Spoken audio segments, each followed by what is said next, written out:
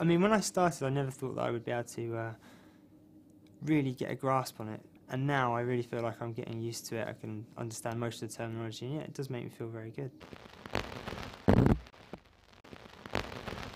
We administer the patient with a radioactive uh, pharmaceutical, and then we take pictures of the radioactivity and where it's gone. To be honest with you, I can't remember my first day. It was just, there was so much going on, so much information to take in. And I think the first week was probably a blur. I did want to go to university, but I felt like I couldn't afford to.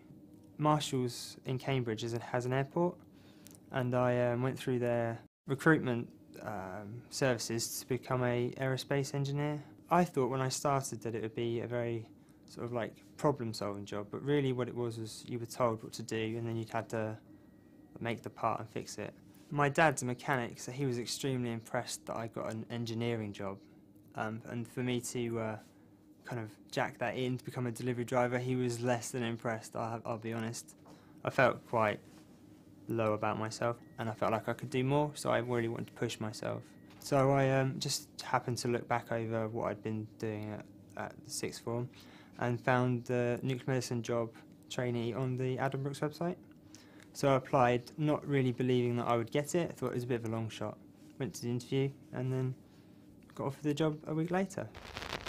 The most important thing about work to me is to do something worthwhile, to help people, um, and to use your brain, you know, challenge yourself.